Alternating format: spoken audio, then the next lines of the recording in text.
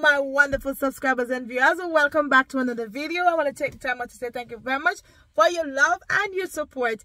If you're new to my channel, welcome. My name is Michelle Cole. So today I'll be sharing with you Stop Condemning Sinners. Glory to God.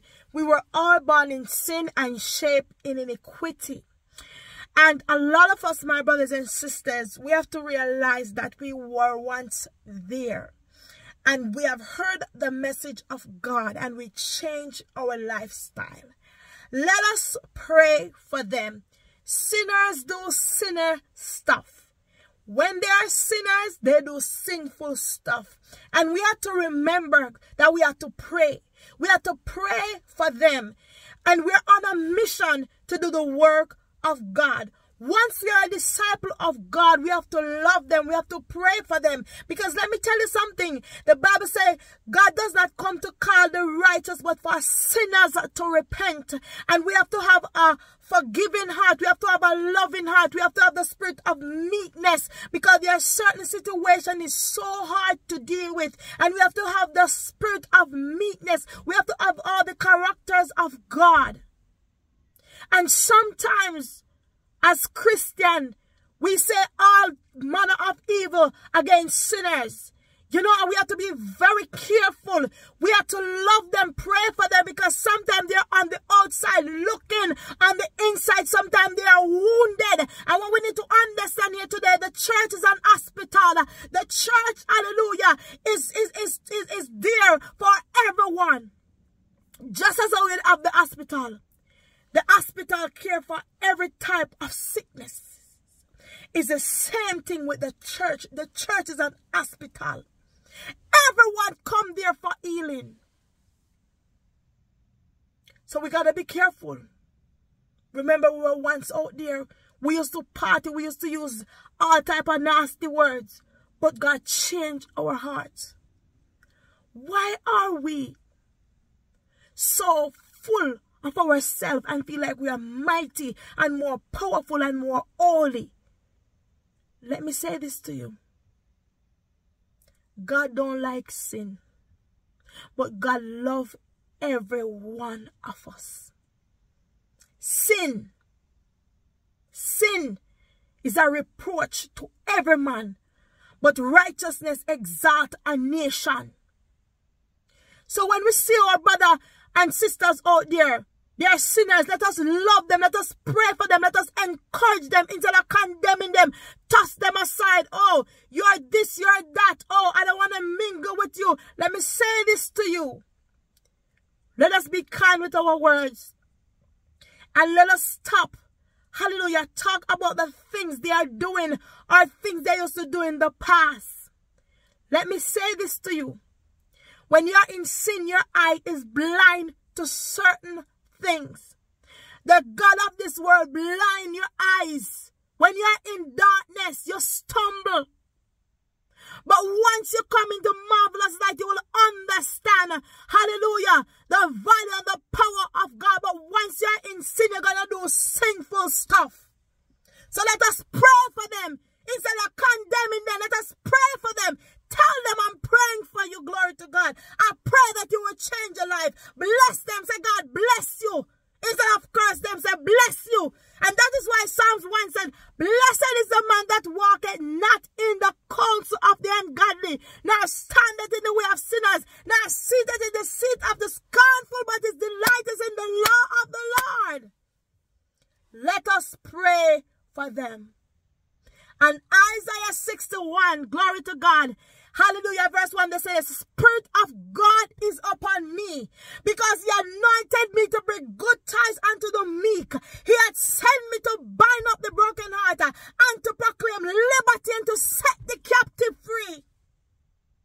To open prison door for those who are bound.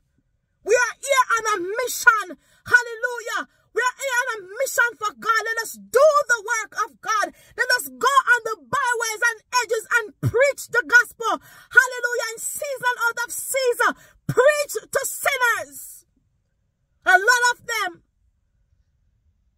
They may not be saved, but they will love to hear the word of God. They will love, hallelujah, to, to, to get a word of prayer. They will love to get a word of encouragement. And sometimes just saying, I'm praying for you.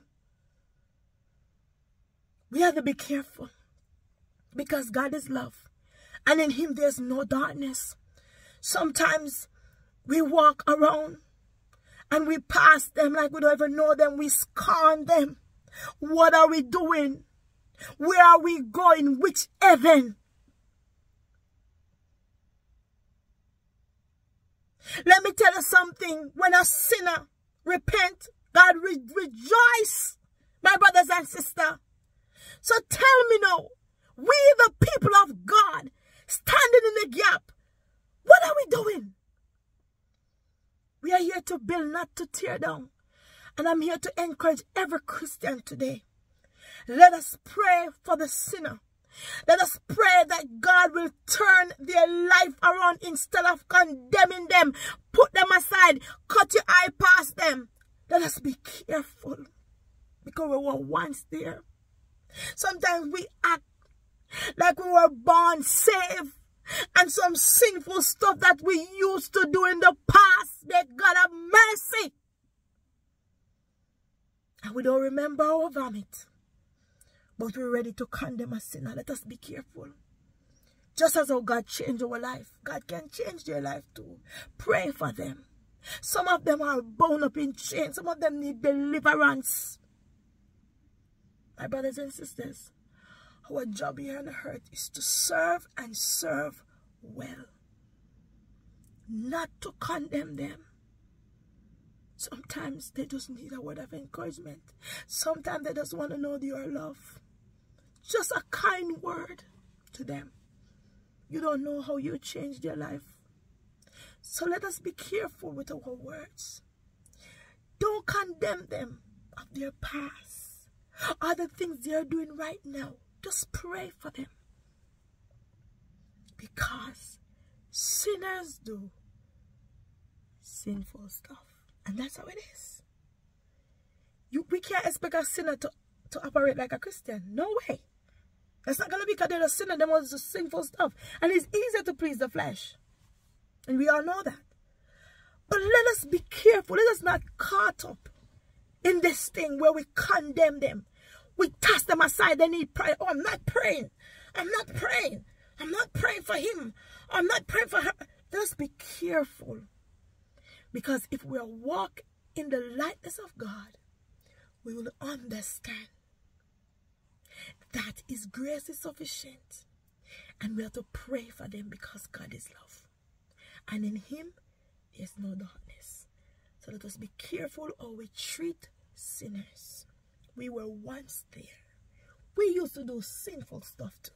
Remember that? And it changes. God can change them. Just pray for them. Just pray for them. Breathe a word of prayer. Share a word of encouragement and allow God to do the rest. Because guess what? His word is quick, it's powerful, it's sharp than any two-edged sword that can pierce through bone and marrow, which is the discerner to the heart, is the word that do the job. You preach the word, and on the, authority and the power of the Holy Ghost, it speak to your heart. It tear down every every stone heart, and give your heart a flesh. Thank you so much for watching this video. Please remember to like, share, and subscribe. And my brothers and sisters, remember, let us pray for them instead of condemning them. You have a blessed weekend in the Lord. And remember, you're loved, you're chosen, and you're redeemed. And there is none like you. So you take care now. Bye, wonderful people. Bye.